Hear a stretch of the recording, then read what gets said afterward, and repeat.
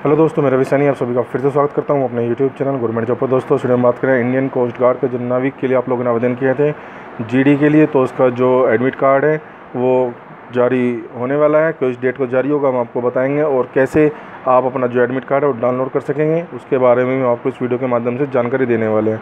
तो दोस्तों, इस वीडियो के साथ आप बने रहिए और आगे बढ़ने से पहले मैं आपसे निवेदन करूँगा कि आप हमारे चैनल पर नए आएँ तो हमारे चैनल को सब्सक्राइब करना और बेल आइकन को दोबारा न भूलें।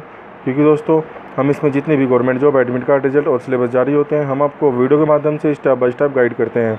तो चलिए दोस्तों, चलते नहीं वेबसाइट जिसका नाम है गायत्री जॉब्स डॉट कॉम और ये जो पोस्ट है इंडियन कोस्ट गार्ड नाविक जीडी एडमिट कार्ड दो हज़ार अठारह, आप हमारी जो वेबसाइट है गायत्री जॉब्स डॉट कॉम वहाँ से भी जाकर आप चेक कर सकते हैं। इसका लिंक जो है, मैं आपको वीडियो के डिस्क्रिप्शन में भी प्रोवाइड करा दूँगा। सबसे पहले हम बात करें इसके बैच की ज़ीरो एक दो हज़ार उन्नीस का ये बैच है, जिसमें आप लोगों ने आवेदन किए थे कोस्ट गार्ड में नाविक नाविक के में जी के लिए।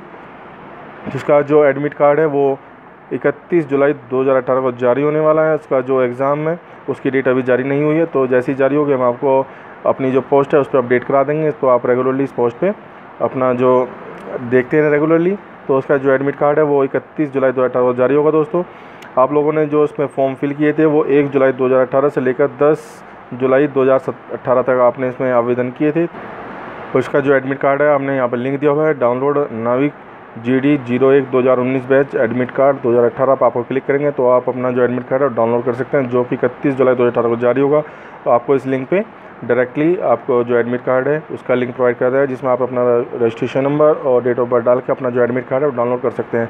और नेक्स्ट बात करते हैं, इसमें जो एग्ज़ाम पैटर्न और सिलेबस के बारे में आपको जानकारी दे देंगे। इसमें जो सिलेक्शन प्रोसेस है, उसका सबसे पहले रिटर्न टेस्ट होगा, physical fitness test initial medical examination होगा, मेरिट लिस्ट लगेगी।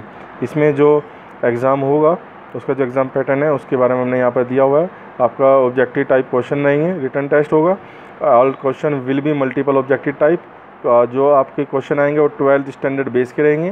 क्वेश्चन विल बी आक्स इन हिंदी और इंग्लिश दोनों में आपसे क्वेश्चन पूछे जाएँगे। They are no negative marking कोई नेगेटिव मार्किंग नहीं रहने की। तो इसमें जो आपके सिलेबस हैं, वो यहाँ पर दिया हुआ है। Mathematic physics biochemistry basic chemistry और इंग्लिश जो रहेगी ट्वेल्थ क्लास स्टैंडर्ड की रहेगी। General knowledge current affair quantity and aptitude और रीजनिंग के आपके ये टॉपिक रहेंगे। इसके लिए आप हमारा जो ये लिंक दिया हुआ है उसमें आपका पूरा सिलेबस दिया हुआ है। सिलेबस पे आप चेक कर सकते हैं क्या क्या टॉपिक आएँगे जो अंदर सब्जेक्ट रहेंगे, वो सब आप इस वाली पोस्ट से हमारी देख सकते हैं। जैसे कि हमने आपको बताया मैथमेटिक के जो क्वेश्चन आएँगे, वो यहाँ पर दिए हुए हैं। इस तरह के क्वेश्चन आएँगे इनमें। और फिज़िक्स के जो रहेंगे, सिलेबस ऑफ़ फिज़िक्स ये हैं, यहाँ पर आप देख नोट कर सकते हैं। बेसिक केमिस्ट्री के जो टॉपिक हैं, यहाँ पर दिए हुए हैं, इंग्लिश के टॉपिक दिए हुए हैं, इन सबको आप नोट करके अपनी जो एग्ज़ाम है, उसकी तैयारी कर सकते हैं। नेक्स्ट चलते हैं। इसमें जो फिटनेस टेस्ट होगा, फ़िज़िकल एफिशिएंसी टेस्ट, उसमें आपका candidates will have complete 1.6 kilometre.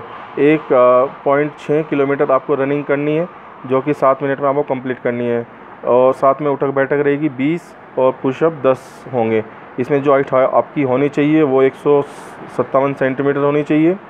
और आपका जो एक्सपेंशन है, आपकी जो चेस्ट है, वो पाँच सेंटीमीटर की एक्सपेंशन होना चाहिए चेस्ट का। Weight must be according to the applicant height, आपके जो वेट है वो हाइट के अकॉर्डिंग होना चाहिए। Candidate should keep their ear clear at the time of the medical test. आपकी जो कान है वो अच्छी तरह साफ़ होने चाहिए। और आपकी जो आइज़ है, वो जो बेटर आइज़ हो विदाउट ग्लास जो होनी चाहिए, वो सिक्स अपॉइंट सिक्स होनी चाहिए।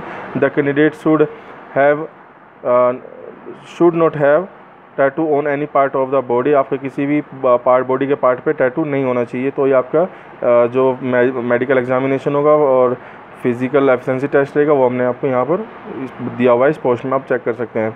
तो दोस्तों आपको हमने इसमें कैसे आप अपना एडमिट कार्ड डाउनलोड कर सकते हैं, वो बता दिया। साथ में इसका जो एग्ज़ाम पैटर्न सिलेबस है, वो सारी इन्फॉर्मेशन आपको इस वीडियो के माध्यम से जानकारी दे दी है। तो हमारे द्वारा बताई गई जानकारी आपको कैसी लगी, आप हमें वीडियो के कमेंट बॉक्स में कमेंट करना और इस वीडियो को लाइक और शेयर करना नहीं भूलें। मिलते हैं नई वीडियो के साथ, तब तक के लिए बाय बाय दोस्तों।